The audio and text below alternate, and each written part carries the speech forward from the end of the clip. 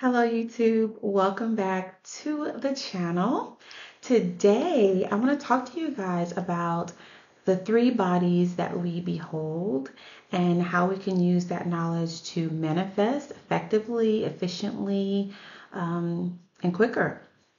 So if you're interested in knowing how to do this, stick around for the rest of this video. My name is Stephanye. I'm a psychotherapist turned manifestation coach. On this channel, we talk all things to do with actually manifesting your desires. If you're interested in that type of content, go ahead and subscribe to the channel. Hit the notification bell so you don't miss when I upload new videos. Also, check out in the description box, I've got some free and some paid goodies, so you want to check that out as well. All right, so let's jump right into the video. So we have three bodies. You know, obviously we know of our physical body, and I'm going to give you a quick drawing here. Okay, so this, this is you, this is me, this is our physical body. This is what we use to typically we are aware of using our physical body to navigate this three-dimensional reality. So we're using our senses, our our taste, touch, um, hearing, ta- uh, smelling, and seeing. Taste, touch, hearing, smelling, seeing. Yes the five senses. And that's what you use to navigate this world. So when we're looking outside of ourselves, we're seeing our reality we have already created. So we're seeing what's around us now, our current living situation that we've created that's right in front of us now. You know, the amount of money that's in our bank account, we're seeing that. That's what we have created. And we are now sensing it in this 3D. Um, so, yes, we want to use that, but this is not all we are. This physical being is not all we are. This is our limited perspective, the physical, okay? So I want you to look beyond that. We have our next body, which I'm going to label here. And that's your brain. Your brain beholds this mind body, mind body, mental body. Okay, so this is what we are using when we're manifesting. We are going into our imagination and we're creating things in that five dimensional space within our mind, our imagination. This is what Neville Goddard talks about creating through imagination.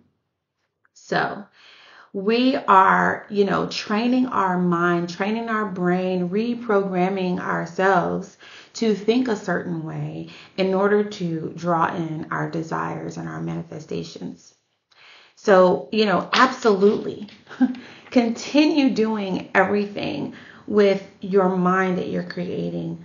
Um, but then also using your physical because your mind will receive inspired um, actions, inspired things that you should do to further bring that desire in. And that's where you use your physical body to do those things, but only when it's inspired. When it's inspired, and that's when you know it's in alignment with you actually gaining that desire.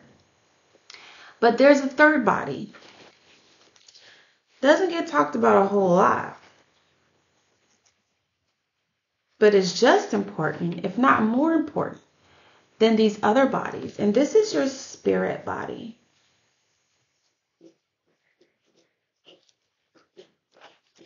Okay, this is your spirit body. So, if you guys have ever heard of um, auras, Okay, this is the energy that you are giving off. It expands beyond your physical body. So if you've ever been to someone and they say, you know, you have a blue aura or something, you have all those frequencies. They're picking up off of those colors. Those frequencies vibrate at a certain um, level, and people, some people are able to perceive those colors in that auric field around you. In this field, this is where we carry our emotions. This is where we carry our traumas. You know, we feel it in our physical bodies as well, But this is where we can make those changes. If you have experienced a whole bunch of trauma, if you have experienced these horrible programming, if you have these these this um hmm, this propensity to go to the extreme when it comes to your emotions, then your spirit body is where you want to do the work. So, you know, this is our spiritual body is the most expansive out of all of our three bodies. This is this is in connection and in oneness with Christ consciousness, with you know, um, super conscious with the the all. This is the limitless part of ourselves. So so when we are manifesting, what we want to do is we want to tap into all three. We definitely want to be changing, consciously changing those programs that we're running in our minds. At the same time, we want to be letting go of the negative emotions, okay, that have clogged up our auric field. Let it go, let it go, let it go. And we can do that in several different ways. We can do that by just affirming, I am now letting go of all of that trauma. I am now letting go of all those negative emotions. Just affirm that it is leaving you when it comes to your mind. I now have a program that is better serving me. I now hold a program and believe in things that are going to bring about my manifestation that are for my highest good. Affirm it, right? Affirm it for your spiritual body, affirm it for your mental body, affirm it for your physical body. My physical body is in perfect health. My physical body is in perfect harmony with what's good for me. Affirm it, right?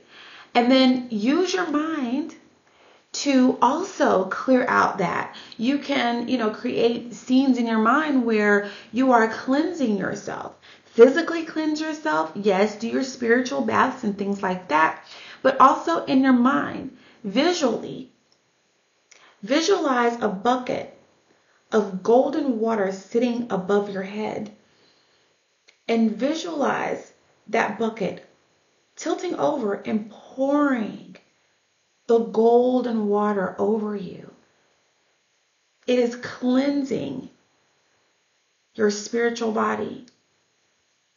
See all the dark clouds washing down and washing away. Also, see that golden water going inside of your head, filling up your brain space, clearing all of that out watching it go all the way down into your body, all the way through your body, and all the way out through the soles of your feet back into the earth where it came. Sending away with love. You served me for a time. Thank you. It's time for you to go. I no longer need you.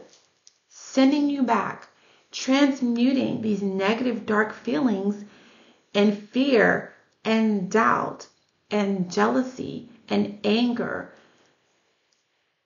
sending it away with love, transmuting the negative feelings back to love. This is what you do. Make this an everyday practice for yourself. Spend five minutes doing this every day and watch how your life changes. Your moods will change. How you think will change. How you speak to people will change. How you speak to yourself will change. The energy that you put off when you walk into a room will change for the better. The energy that you attract from other people around you will change for the better. This is a way of holistically manifesting. This is healing. Okay, you guys, so do this, come back to this video, watch it over and over again, de- develop your own way of cleansing your three bodies, and come back to this video. And I want to hear in the comments how you did it. What did you do? What did you visualize? How did you cleanse your spiritual body, your mental body, your physical body? and what the, were the results of that. So I'll look forward to that and I'll see you guys in the next video. Bye, lovelies.